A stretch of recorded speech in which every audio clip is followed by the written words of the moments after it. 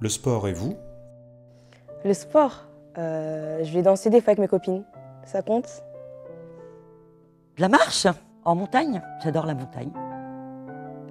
C'est pas une grande histoire d'amitié. Oh, je pratique la gym douce deux fois par semaine, du vélo et des stages de yoga trois, quatre fois par an. Les amis sur les réseaux sociaux, oui, mais les autres? Réseaux sociaux, évidemment, on est obligé. De toute façon, avec les enfants, euh, on s'y colle. Et puis, on se retrouve, évidemment. Euh, ça nous permet de nous donner des rendez-vous euh, pour nous voir euh, de manière euh, cadrée. Les enfants ont mis cet appareil dans les mains. Je vivrai très bien sans. J'ai un mur avec 463 amis, mais par contre j'ai aussi des amis en vrai. Quel est votre plus grand plaisir? Mon travail, sans hésiter. Je m'ennuie le week-end. Être bien, quoi. discuter, être en- ensemble, en famille. Sortir avec des potes, si c'est pas maintenant que je le fais, c'est pas quand j'aurai 40 ans que je le ferai. Faire de la cuisine, puis travailler au jardin. Votre repas à midi? Oui, bon j'avoue, c'est vrai, j'ai un fait pour les frites. Mercredi, donc j'étais avec les enfants. On a mangé des galettes de légumes, figurez-vous. Eh bien, figurez-vous que je n'ai pas mangé ce midi parce que j'ai pas eu le temps. Voilà. Ça se dit pas trop, non? Salade, gratin de courgettes, épinards et salade de fruits en dessert. Que savez-vous du cancer du sein? Que ma mère l'a eu.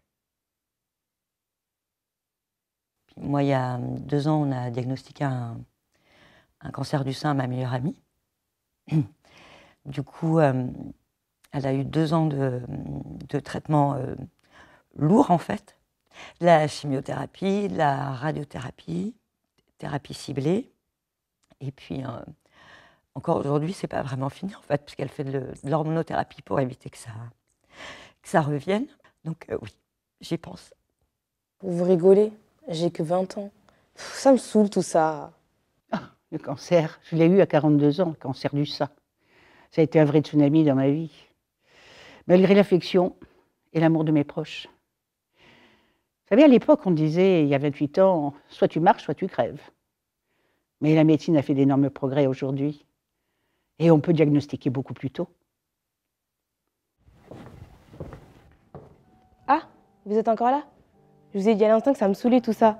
Mais vous êtes bien rendu compte que c'était du cinéma, que c'était pas un vrai casting.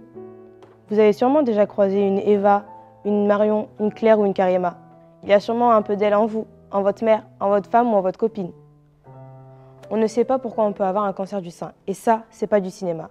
Ce qu'on sait, c'est qu'il faut en parler à son gynécologue lors de nos contrôles de routine. Le dépistage, c'est vous. Et surtout pour vous, les vieilles de 40 ans et plus. Comme le dit mon éducatrice, mieux vaut prévenir que guérir.